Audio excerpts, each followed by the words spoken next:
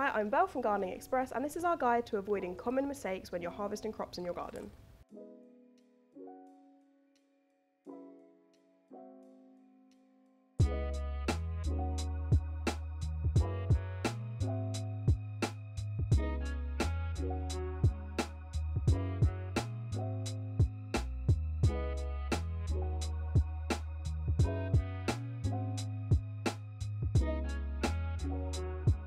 This video, I'll take you through some of the common mistakes that people make when they're harvesting crops so that you can avoid them and become a harvesting pro. Remember to like this video and subscribe to the channel.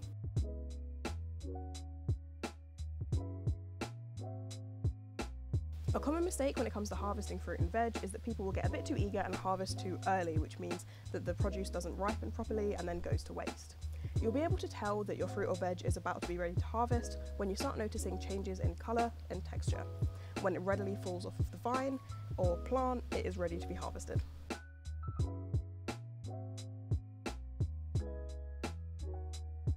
On the other end of that spectrum, you could wait too long to harvest your crops, leading to them being overripe and spoiled. Not only does this waste produce, but it also means that your plant has put a lot of energy and resources into a crop that is never going to be picked. So just make sure that you are paying attention to your crops and seeing what is ripe and ready to harvest.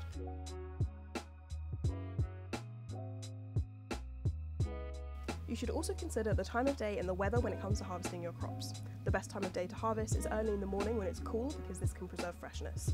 You should also try to harvest on a dry day because this avoids the excess moisture getting to the plants and causing disease or mould.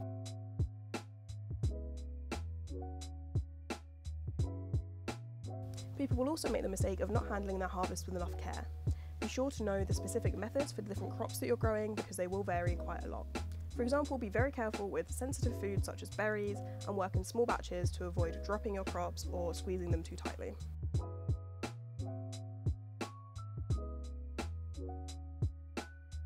Research the type of container and storage environment that's best for the type of food that you've grown. Also, if you have an excess of produce, you might want to freeze some to keep it fresh for longer.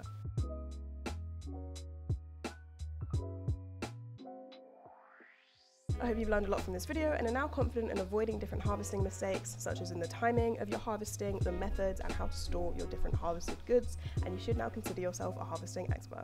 Remember to like this video if you enjoy learning about how to grow your own food and subscribe to the channel for more content. We also have plenty of other educational videos and articles on our website. Thank you for watching and enjoy your garden.